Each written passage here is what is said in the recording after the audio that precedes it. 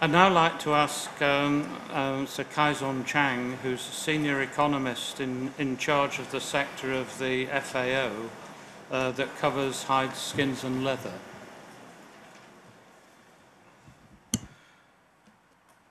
Thank you, um, Chair. Thank you, Luca and UNIC, for inviting me here. And uh, good afternoon to you, ladies and gentlemen. My brief this afternoon is to provide you with an overview of the market monitoring work that we do in FAO on the hides, skins, and leather value chain, the market trends based on the data and information contained in our annual Hides and Skins Compendium, which is available on the website of the Food and Agriculture Organization, and the policies affecting uh, production and trade.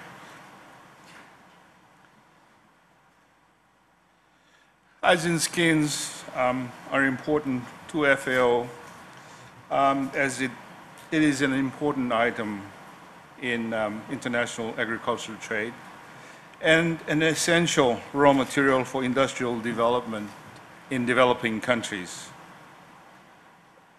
As FAO's mandate is to feed the world, they also contribute significantly to food security of producers in many of these developing countries through export earnings from um, raw hides and skins, which is estimated to be over $45 billion uh, currently. And they provide employment and job creation to numerous hides, skins, and leather-specific artisan industries in these countries. The global market for leather and leather products is huge as mentioned earlier this morning.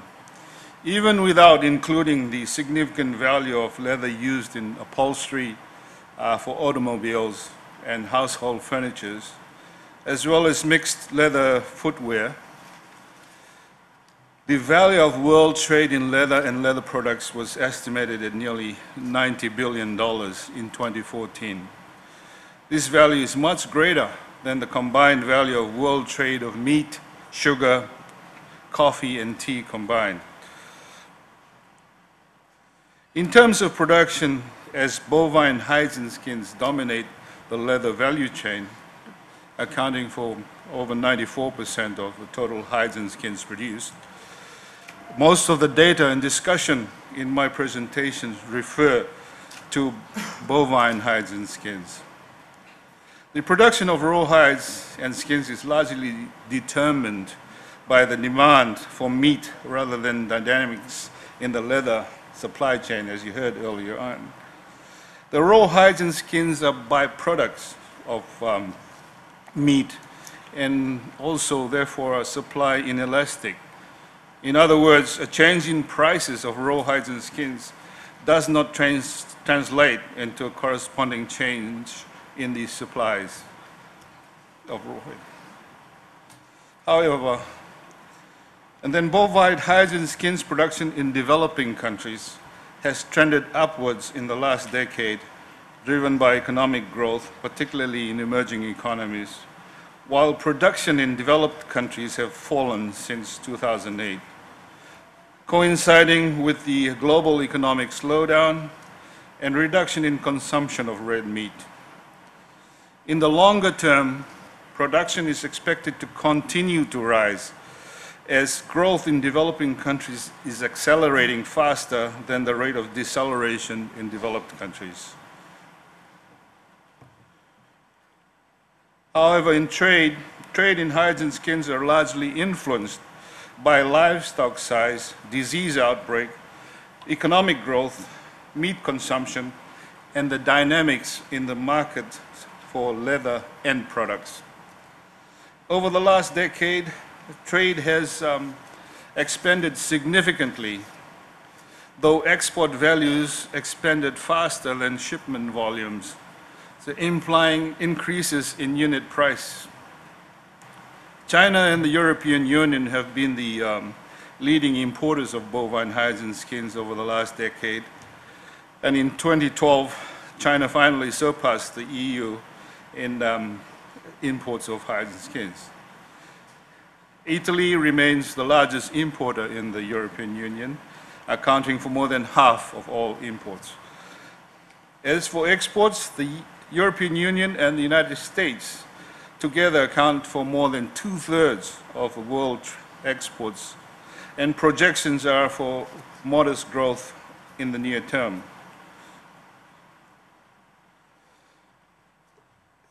The dynamics in the major leather products markets, the demand for leather is influenced by the dynamics in the footwear and leather product markets, as you've heard earlier.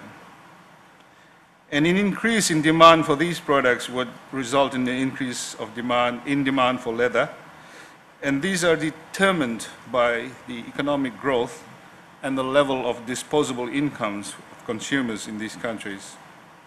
The world trade of leather products which are classified under Chapter 42 uh, in the harmonized system, which includes um, the articles of leather, saddles, harness, travel goods, and handbags, uh, increased from just under $30 billion in 2003 to nearly $70 billion um, in the end of 2014, uh, beginning of 2015.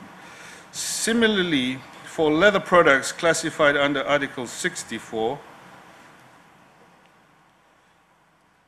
which, is, um, which includes footwear, the trade doubled from about $67 billion in 2003 to $130 billion currently. The major importers of products classified under these two articles are the EU, China, United States, and Russian Federation. In terms of prices, and skins prices have largely been on an upward trend in the last decade, except for 2009 when prices declined sharply, reflecting the beginning of a global economic recession and the income elasticity of leather demand. Beyond 2009, prices recovered in 2010 and rose significantly until 2015 as um, economies of a few emerging markets, including Brazil and China, have slowed.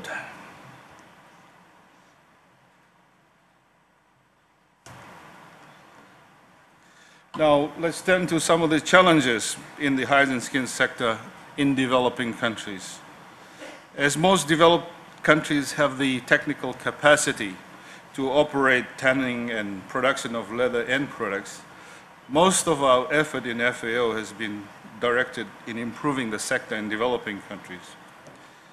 Among the many challenges in the hides and skins sector in developing countries, production of high quality hides and trade is probably the biggest Dealing with pre-slaughter defects has proven to be a major challenge as farmers do not benefit directly from uh, the sale of hides and skins and therefore have no incentive to improve quality.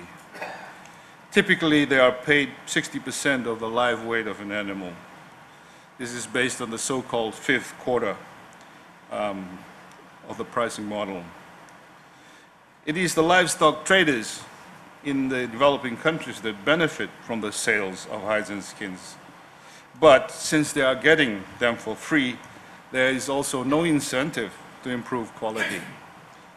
And therefore, unless they are made accountable, any attempt at reducing slaughter defects would be futile. Secondly, as with most commodity value chains, income distribution among the value chain is critical to development of the chain. Skewed margins which do not include a fair return to investment undermine the effectiveness and efficiency of the chain. Examples in developing countries include uh, collectors economizing on the use of salt because they feel they're not receiving a fair price, hence affecting quality of hides and skins that are traded. Similarly, there are production in remote areas are not being collected because margins are insufficient to cover transportation costs. As for international trade, Most of the challenges are non-tariff in nature, or NTBs. As tariff levels of raw hides and skins are pretty low, and if you are least developing, uh, developing country like LDC countries, um, import is usually duty-free.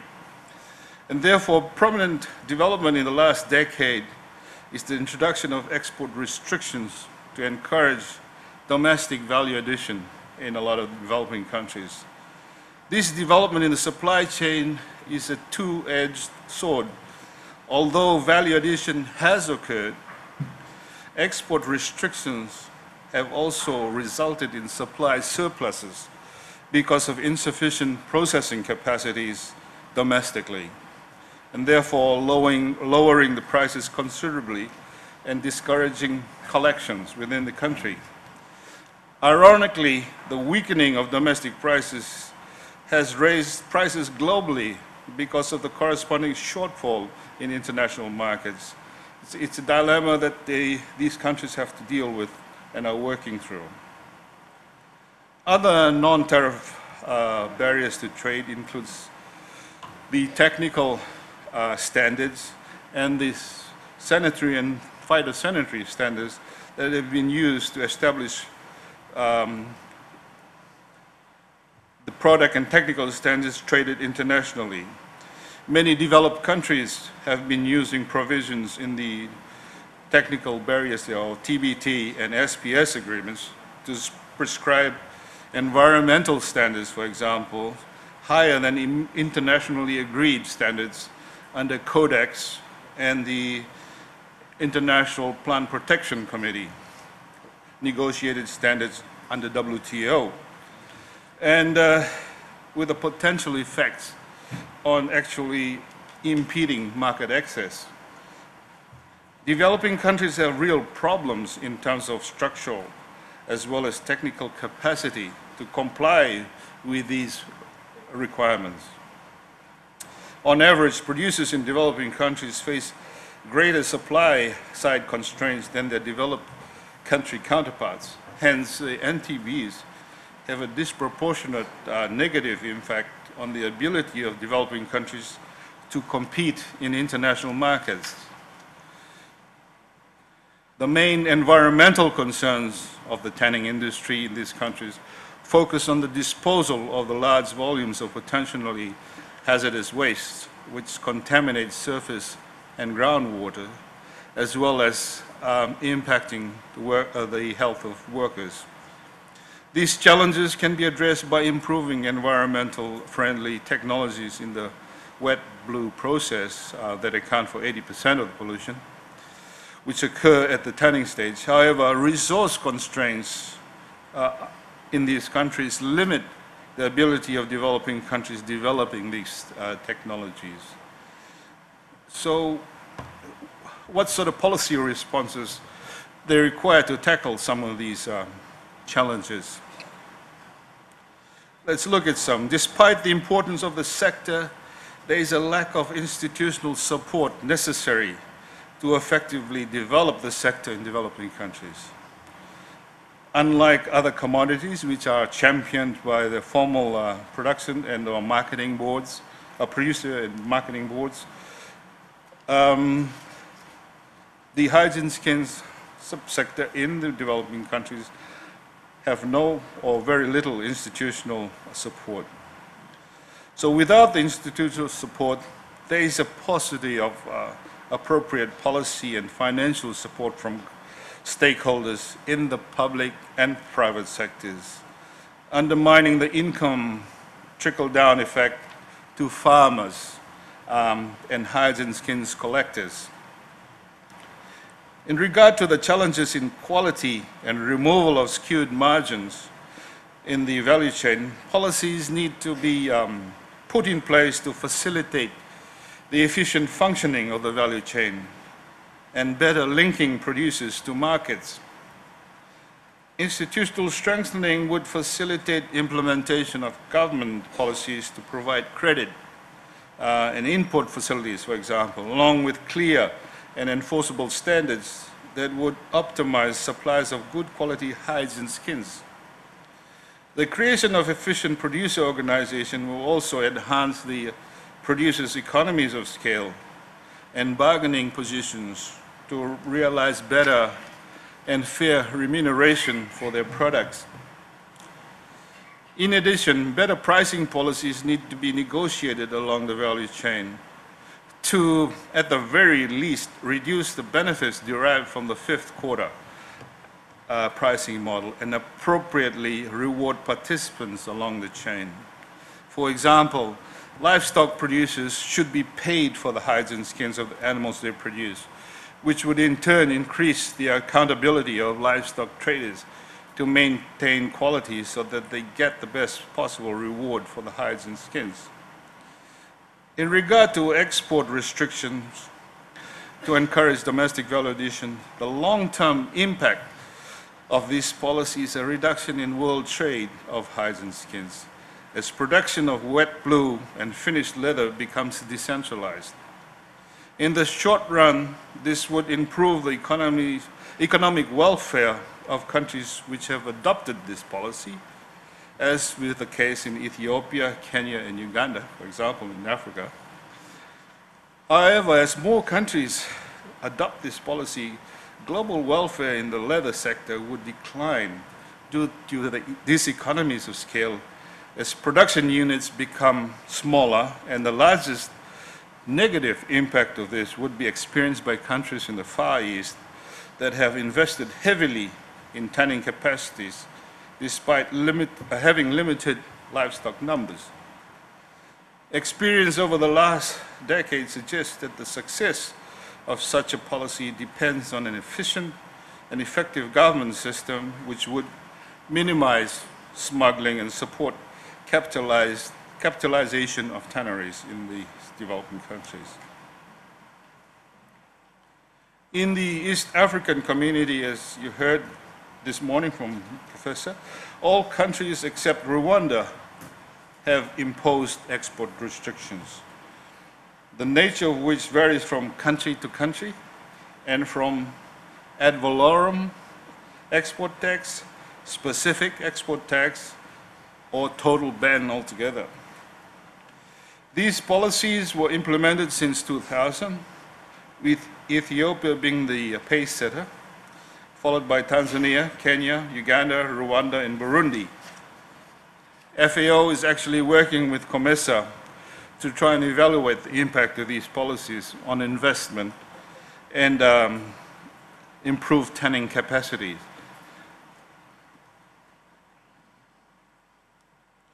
In terms of environment policy responses, the environmental policy responses deal largely with standards and technical regulations. It is imperative to note that government, governments are faced with immense pressure to balance demands from consumers, activists, and those from the industry. Environmental regulations impose significant costs slow productivity growth and thereby hinder the ability of firms to compete in international markets. The loss of competitiveness also results in the movement uh, of processing or manufacturing capacity to countries where environmental regulations are less stringent.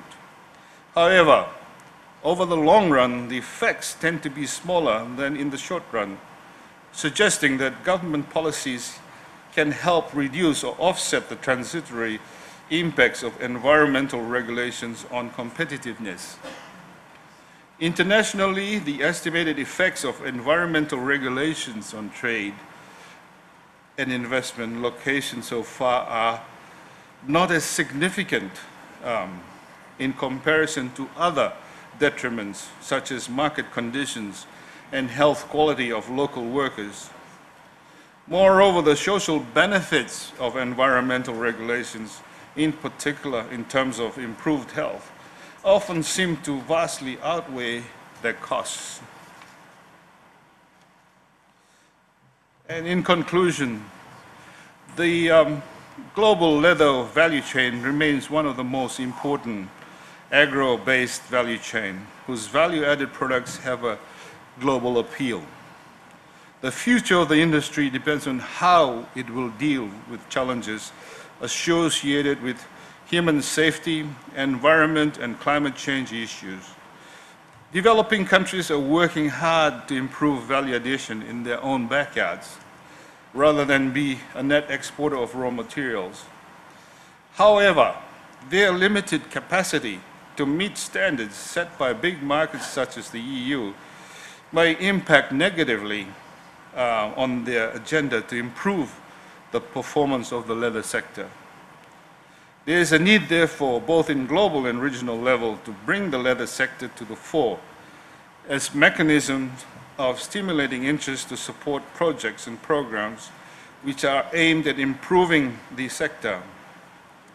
Until recently, the impact of environmental reg- regulations was felt primarily in the high-income countries, where tanners have claimed that costs involved in pollution uh, treatments added to their higher wage costs and have eroded their international competitiveness.